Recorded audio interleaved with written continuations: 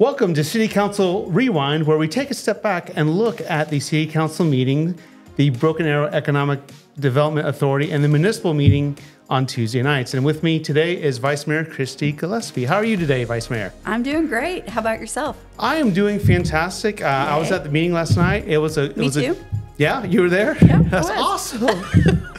um, one of the cool things that um, the council gets to uh, decide on is how the city spends its money. And one of the things that was approved was the general uh, was the sale for the general obligation bond that the voters approved back in 2018. But maybe we can take a step back and you can uh, kind of explain for everybody what is a bond.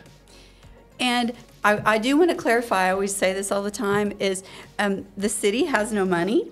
The this is the people's money. Yes. And the people actually voted for um, our general obligation bond package in 2018. I just learned from you that we've been doing this since, since the 70s, and we've been passing bond packages. So um, a bond is where the citizens actually go in and vote. And we before the 2018 bond, we had a lot of public meetings, and I was very involved in that before I was a city councilor, and talked about the the projects that were important to them as citizens. And so these projects that we approved last night are a result of the bond vote and but also a result of citizens speaking out and saying you know these are projects that are important to us for our city. And that would be roads um, you know parks you know those quality of life projects um, you know flood control that you know we have little issues all over our city and just public buildings things that um, make our city better and make us stand out among the crowd um, in other cities across our not just our state but our nation Well, I can definitely see how having uh, this in place is so important for our city. But maybe uh, if you can take me back for when we had our, our 2018 bond, what was the process like for you being involved in, in helping to decide to choose uh, those projects that were of interest? So I wasn't a councilor yet in 2018, but I did serve on the Build a Better Broken Arrow Committee at that time. And so one of the things that I did as a citizen is I went to every single public meeting that was held. And I was very, very excited and very um, opinionated about getting South Broken Arrow revitalized. And so some of those those projects for South Broken Arrow right now, or as a result of some of the things that we said as citizens that were that we wanted. But there, I mean, we all want safe streets. We all want our our streets to be more easily easy to navigate. And you know, we when we see orange cones, that makes me happy because that means we're getting better streets in our city. But you know, I was involved in the 2018 bond as a citizen, and so I hope the citizens out there listening to this will get involved as we move toward our our you know when we have our next bond vote, um, that they will get involved ahead of time so they can have a you know a voice in the process. You can really see the uh, fruits of the labor back in 2018 and all the improvements that have happened in our city. And, um, you know, it- it's so great to have the citizens involved. Um, approved last night, we had uh, roughly around $35 million in projects. That's nothing to sneeze at. No, that's a lot. It is a lot. Um, so I'm just going to go over quickly, just kind of by the numbers. Uh, there's about 26 million, 26 million earmarked for streets, and some of the widening, widening projects that we have is a Washington Street from Lynn to County Line Road, resurfacing Aspen from Albany to Kenosha, and widening 37th Street from Dearborn to Omaha. And I don't know about you, but I appreciate our roads here in Broken Arrow. Now, you know, we have some of the best roads out there. We do, and and it's because our citizens support bond projects like this. We're we're so blessed that our city, um, our citizens see the value of keeping our streets safe. It helps with you know we're we're some of the projects we're doing are you know in front of schools, so it helps with traffic flow and in those areas and.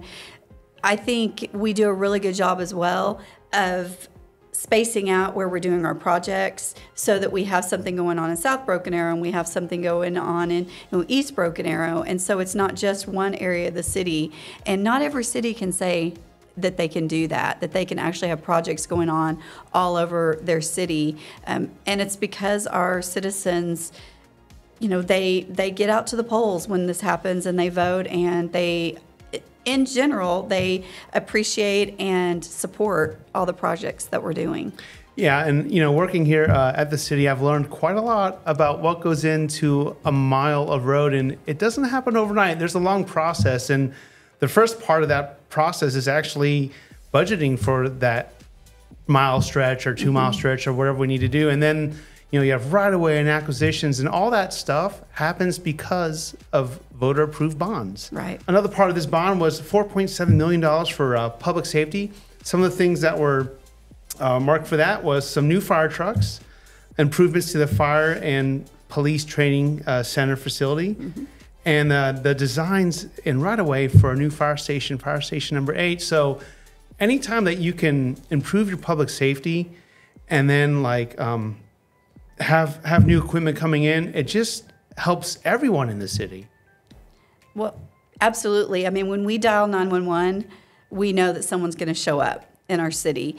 And just whenever we are adding on infrastructure, when we're adding doing capital improvements for police and fire, that means in the future there's going to be someone even closer. If you live out east, there's going to be someone even closer to you to um, respond in a timely manner, and that's important as we as we grow as a city that we stay ahead of that a little bit.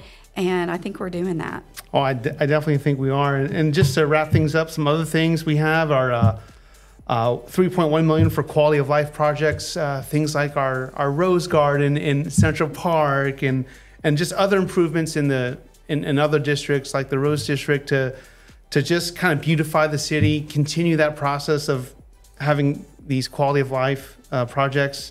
We also have a, uh, money set aside for public buildings and facilities, and for you mentioned before the stormwater projects. And you know, it you don't really notice the uh, stormwater until it rains, Yeah. and then you don't notice like, oh, there may be something that needs to be worked on until it rains. Right. But I think it's important to uh, keep ahead of the process by making sure that we have plans in place and the funding available to make sure that these stormwater projects get taken care of. Yeah, and I, I know I, I serve on a drainage advisory committee, and until I became a city councilor, I had no idea uh, that I would be so passionate about stormwater and drainage in our city as I am.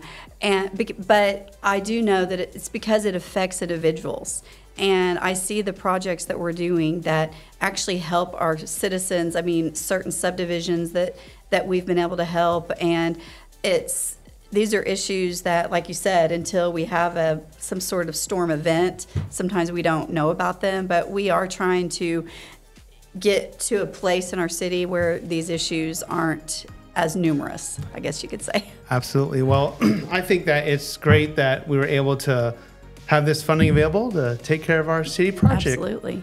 Um, and that wraps it up for uh, City Council Rewind. Is there anything else that you'd like to add? Well, I just want to say thank you for having me and thank you to the citizens of Broken Arrow for your vote for that 2018 bond because without you, we wouldn't have these funds available to make our city even better. So thanks. And with that, we'll say see you next time. See ya. Thank you for watching. This is a production of the City of Broken Arrow, the city where opportunity lives.